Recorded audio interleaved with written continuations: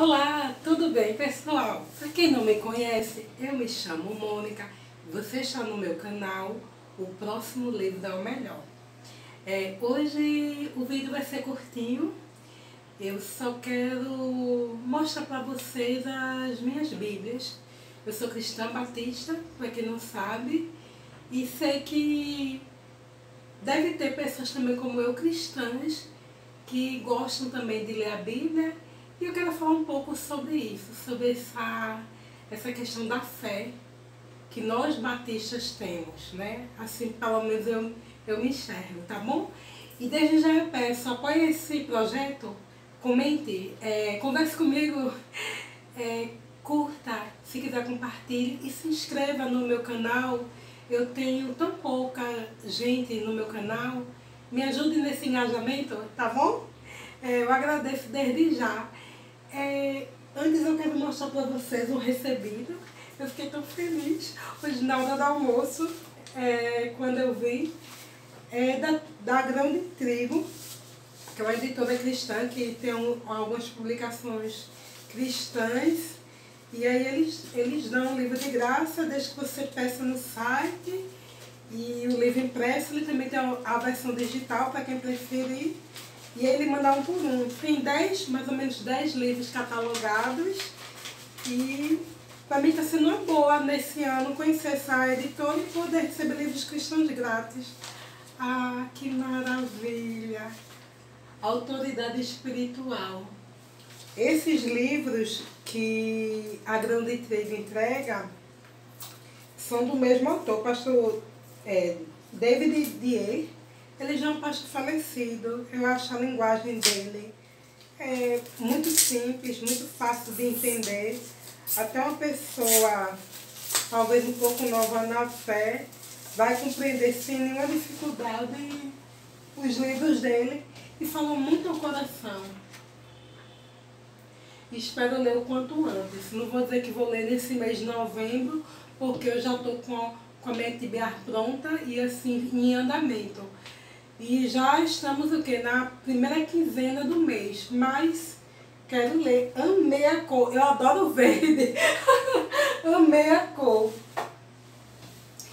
É, antes de falar sobre as Bíblias especificamente, eu quero deixar um versículo é, para explicar realmente o porquê de Deus estar falando dessas Bíblias. E o versículo que eu vou deixar se encontra no livro de Lamentações de Jeremias, capítulo 3, e a partir do versículo 21. Eu só vou ler um versículo que diz assim: Quero trazer à memória o que me pode dar esperança. E eu acho tão belíssimo essa palavra, né? Até é muito comum no meu evangélico, musicada, e eu acho uma palavra muito pertinente, porque quantas vezes o cristão, e até aquele que não é cristão, que tem outra fé, ou até aquele que não tem fé em nada, é, eu falo no sentido de um ser é, sobrenatural, espiritual, mas quantos passam por momentos difíceis da vida?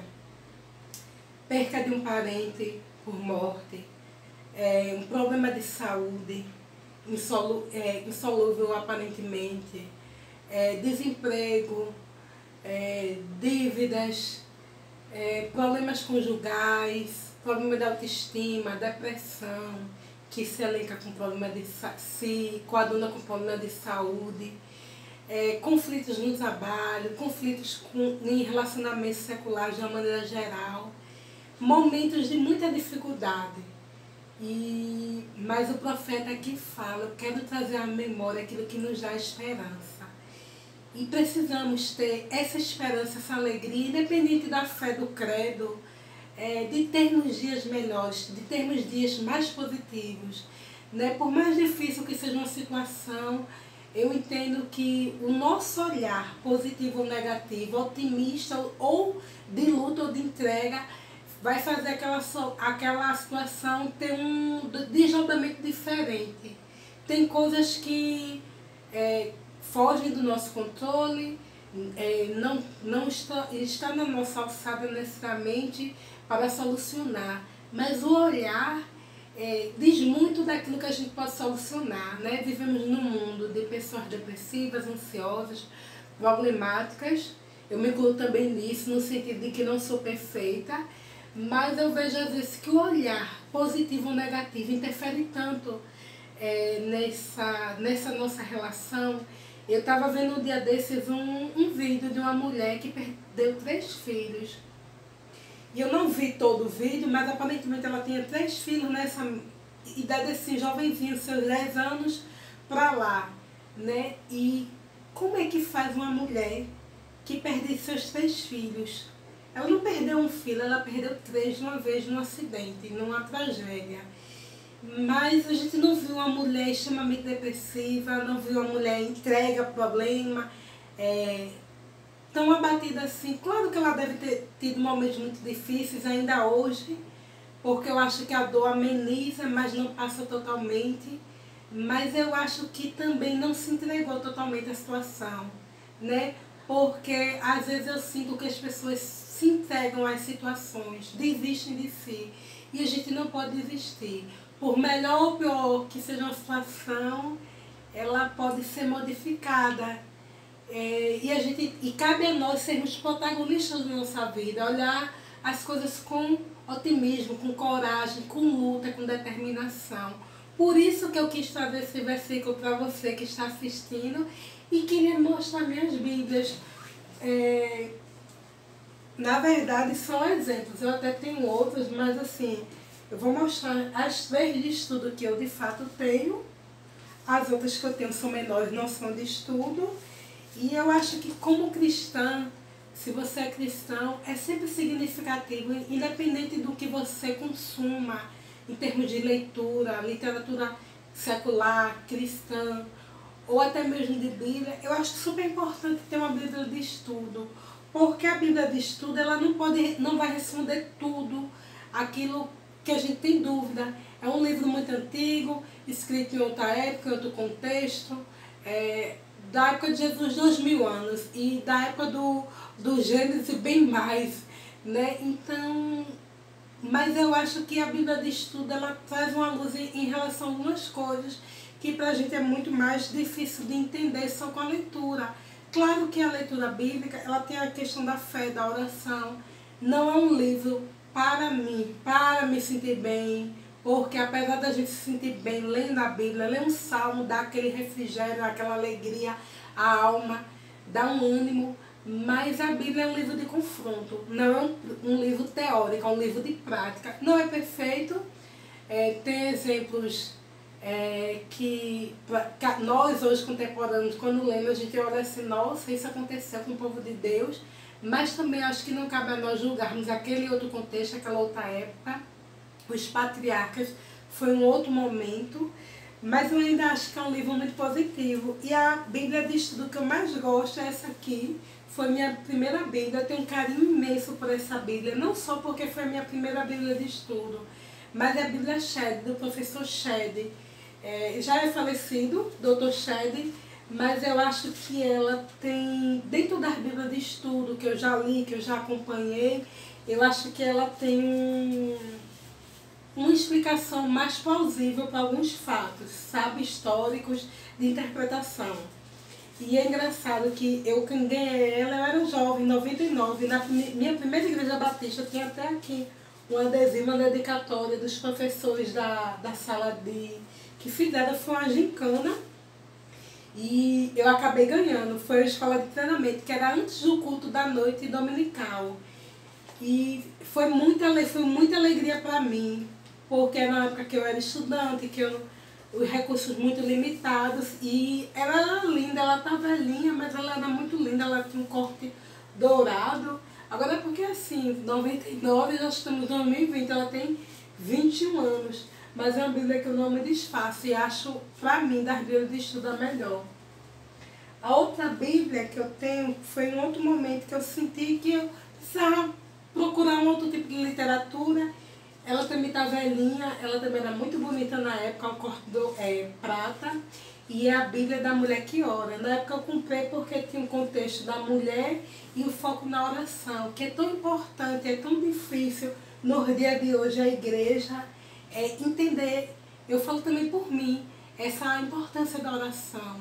Tem hinos que louvam até que o mover de Deus vai através da oração, ou melhor, do louvor. A maioria dos, dos hinos que eu escuto no mundo gospel falam do poder da, do louvor, que o, Deus ouviu o louvor, que Deus é, libertou. Sim, o louvor liberta, Deus escuta, Deus recebe, mas o grande segredo da igreja é a oração e é algo que realmente nos faz diferente diante de Deus, nos aproxima, cria vínculo de intimidade e que é tão difícil para a gente é, transpassar, né? O Cristo mesmo disse aos seus discípulos, não podeis ficar nem uma hora comigo, já estão dormindo. E a última, ou melhor, penúltima, é essa que eu comprei no ano passado, uma Bíblia de estudo. Eu sentia falta de uma Bíblia mais recente, diferente, que eu sempre estudava mais pela Shed. E essa Bíblia ela já tem aquela versão é, com a linguagem de hoje. E eu acho ela belíssima. Eu até tenho na minha wishlist uma outra Bíblia que eu quero comprar no futuro, é, quando Deus permitir. Mas eu acho essa Bíblia fascinante, sabe os estudos, as explicações, as referências, muito boa. E se a gente olhar a questão do preço, você hoje com menos de 100 reais você compra uma boa Bíblia de estudo, né? Às vezes a pessoa passa 30 anos na igreja e não tem uma Bíblia de estudo. Não desmerecendo a Bíblia simples, que ela aqui já tem tudo, mas é, a Bíblia de estudo tem um pouquinho a mais, tem algumas coisas históricas, explicativas que é muito significativa e tem o próprio estudo da Bíblia, né, que remete o aprendizado de um texto, de uma passagem para outro. E eu queria mostrar essa pequenininha, que eu nem estava usando, mas vou voltar a usar, porque é bom para ir para a Bíblia, para a igreja, para sair com ela, porque é menor.